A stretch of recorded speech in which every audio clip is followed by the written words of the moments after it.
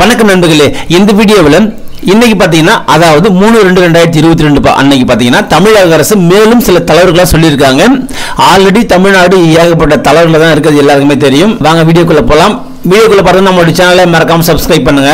Corona பெருந்தொற்று பரவல் குறைந்துள்ளதை தொடர்ந்து கட்டுப்பாடுகள் மேலும் பார்த்தீங்கன்னா தலைவர் கொடுத்துருக்காங்க. அதாவது முதல்வர் அறிவிச்சு அறிவிச்சிருக்காரு. அது என்னன்னு பார்த்தீங்கன்னா ஒன்று வந்து அரசியல் மற்றும் சமுதாய கலாச்சார கூட்டங்களுக்கு விதிக்கப்பட்ட தடை வந்து ஃபுல்லாக விலகிட்டு நீக்கிட்டாங்க. நீங்கள் வந்து கூட்டம் நடத்திக்கலாம்.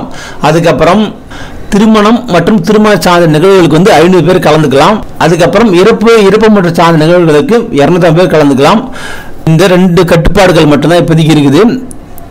இதுக்கு மேலே வந்து மீதி எல்லா கொரோனா நடவடிக்கை விதிக்கப்பட்டிருந்த இதர கட்டுப்பாடுகளை விலக்கி வர்றாங்க. அவர்களின் வழிகாட்டின் பேரில் மேற்கொள்ளப்பட்ட நடவடிக்கையால் பார்த்தீங்கன்னா கொரோனா தொற்று கிட்டத்தட்ட தமிழ்நாட்டில் ரொம்ப குறைஞ்சிடுச்சு. மக்களின் வாழ்வாதாரம் கருதி அரசால் பல்வேறு தகவல்கள் வழங்கப்பட்டுள்ள நிலையில் தொடர்ந்து கட்டாய மக்கள் முகக்கவசம் போடணும் பொது இடங்களில் சமூக இடைவெளி பின்பற்றணும்.